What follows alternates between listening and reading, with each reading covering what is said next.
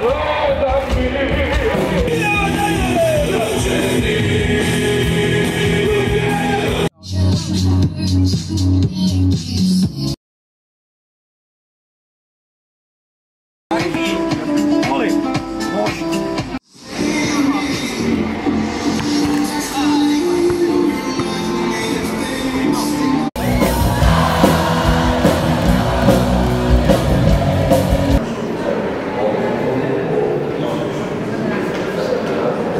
Ja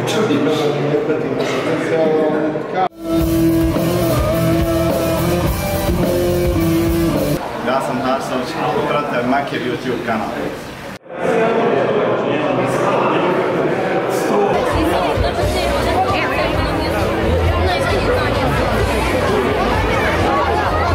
Ne znam, je pustimo se. Pa jesam, evo ja ću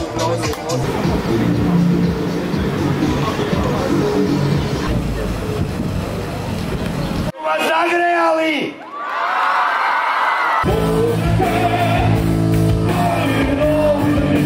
Ja na malom kašelju zaglavio sam sa Denisom Zvonićem, našim kapitenom, ja mislim da to opraštate